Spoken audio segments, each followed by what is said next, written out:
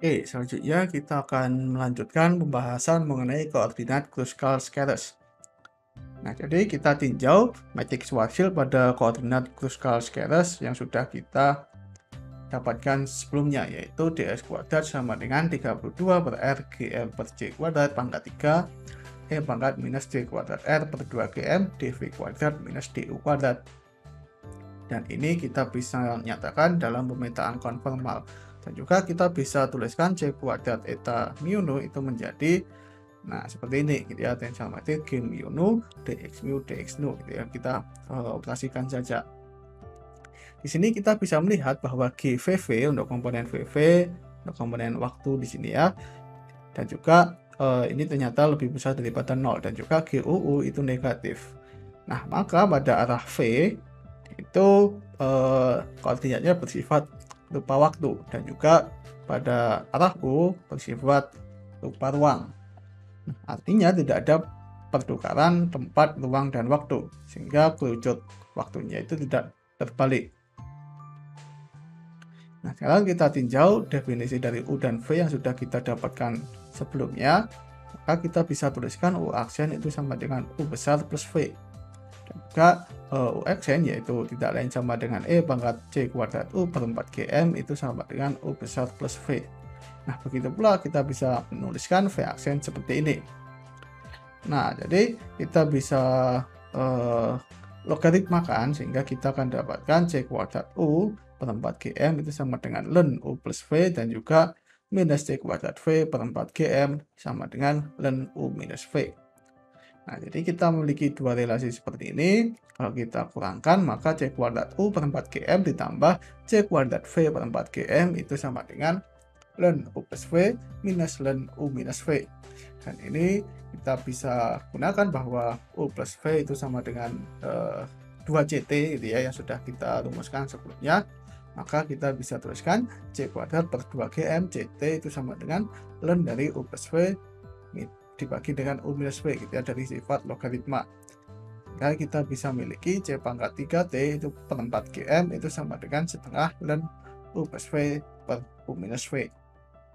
Nah, jadi kita uh, memiliki perumusan seperti ini jika R-nya itu sama dengan 2 GM per V kuadrat, ini tidak lain adalah ciri-ciri Schwarzschild, maka U kuadrat minus V kuadrat itu sama dengan uh, 0 dan juga V-nya itu menjadi plus minus U. Ini adalah persamaan garis lurus pada bidang UV. Nah, ini ini adalah menjadi asimtot di sini ya. Menjadi asimtot di sini dan di sini. Nah, untuk mengetahui bagaimana makna fisiknya, maka kita bisa kembalikan ke koordinat Schwarzschild di sini ya. Nah, di persamaan kiri ini kita memiliki eh, jika kita ambil U mendekati minus V, maka logaritma ini itu akan mendekati minus tak hingga, sehingga waktunya itu uh, minus tak hingga gitu ya. Nah, jadi waktu ini menuju ke minus tak hingga kalau kita lewat uh, sini gitu ya. Jadi ke sana itu menuju ke minus tak hingga. Nah, apa yang terjadi pada uh, keadaan ini itu seperti pengamat pada kejauhan gitu ya yang melihat benda yang menuju ke jari-jari swasit itu kan terlihat nggak sampai-sampai gitu ya. Kok nggak pernah masuk gitu intinya ya. Jadi cahaya yang dipancarkan benda itu membutuhkan waktu yang semakin panjang untuk sampai ke pengamat. Karena benda itu berada pada uh, event horizon jadi uh, R sama dengan 2 gm per c kuadrat yang artinya cahayanya itu akan semakin mengalami pergeseran merah. Kecepatannya itu semakin kecil Nah, yang ini sama ketika uh, U minus V, uh, U menuju ke V, maka waktunya itu menuju ke tak hingga gitu ya, ke sana menuju ke tak hingga. Nah, selanjutnya kalau kita uh, tinjau seperti ini ketika R sama dengan 0, maka kita memiliki U kuadrat minus V kuadrat itu sama dengan uh, minus 1 gitu ya, sehingga kita memiliki V sama dengan plus minus akar U kuadrat plus 1.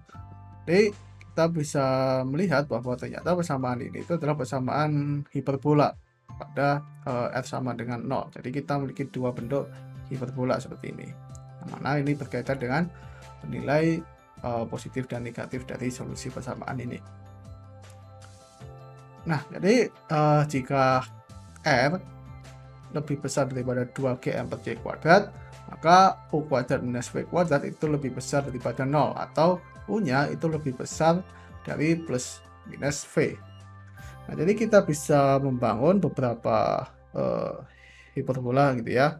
Yang mana di sepanjang uh, parabola ini itu untuk ini, itu itu berkaitan dengan nilai R tertentu gitu ya, R yang konstan gitu untuk masing-masing uh, parabola ini. Sekarang kita memiliki bahwa U kuadrat minus V kuadrat sama dengan C kuadrat R per 2GM minus 1 dikalikan dengan E pangkat C kuadrat R per 2GM. Ini kita bisa ubah menjadi bentuk persamaan seperti ini. Dan persamaan ini itu tidak lain adalah persamaan hiperbola cos hiperbolik kuadrat Z minusin hiperbolik kuadrat Z itu sama dengan 1 dan kita memiliki tan hiperbolik Z itu sama dengan seperti ini mana kita bisa menuliskan cos hiperbolik Z-nya itu ini dan sin hiperbolik Z-nya itu ini nah kita bisa mengambil karena Z-nya itu uh, bebas kita bisa yang penting kan berapapun nilai Z-nya pasti akan memenuhi persamaan ini gitu ya kalau kita ambil yang ini adalah cos hiperbolik kuadrat dan ini adalah sin hiperbolik kuadrat jadi kita uh, ambil setnya itu sama dengan C pangkat 3 T per 4 GM. Nah, jadi kita bisa nyatakan bahwa U-nya itu seperti ini.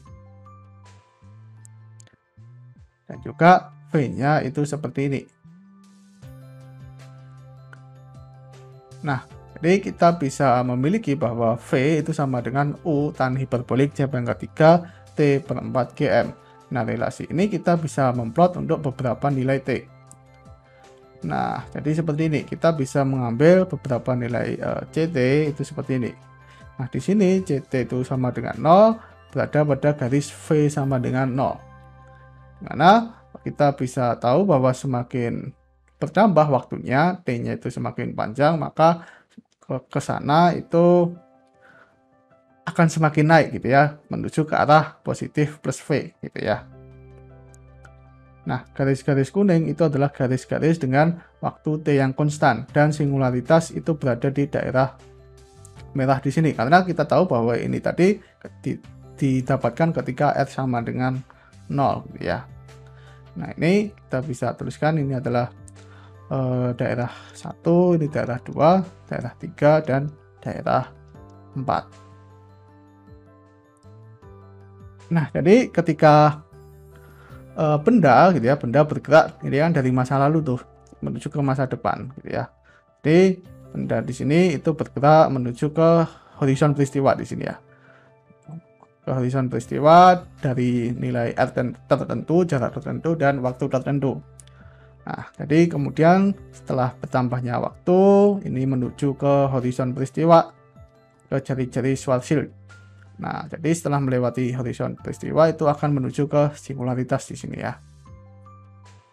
Jadi ini uh, terlihat uh, mengarah bengkok gitu, menuju ke uh, singularitas. Nah, di dalam lubang hitam atau lubang putih yaitu pada daerah 2 dan 4 di mana yang 2 tadi itu adalah lubang hitam dan 4 tadi kan lubang putih. Maka kita bisa tuliskan untuk R kurang dari 2 GM per C kuadrat maka kita bisa memiliki U kuadrat minus V kuadrat kurang dari 0 dan U-nya itu plus minus V kurang dari plus minus V. Jadi kita bisa tuliskan bahwa V-nya itu seperti ini dan U-nya itu seperti ini. Sehingga tan hiperbolik C pangkat 3T per 4GN itu sama dengan U per V dan V-nya itu sama dengan kod hiperbolik C pangkat 3T per 4GM U.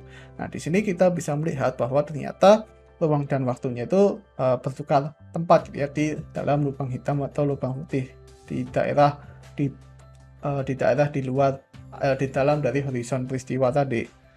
Nah, ini koordinat waktu itu menjadi rupa ruang dan koordinat ruang itu menjadi rupa waktu. Jadi kalau kita uh, gambarkan di sini bahwa di bawah sini itu ruang dan waktu bertukar tempat. Artinya sini waktu itu bergerak ke kiri untuk uh, waktu yang bertambah gitu ya waktu bergerak dari kanan ke kiri dari masa lalu ke masa depan gitu kalau yang tadi kan waktunya naik tuh naik ke atas dari bawah ke atas kalau di sini kebalikan ya dari kiri ke kanan karena uang dan waktu itu saling bertukar tempat.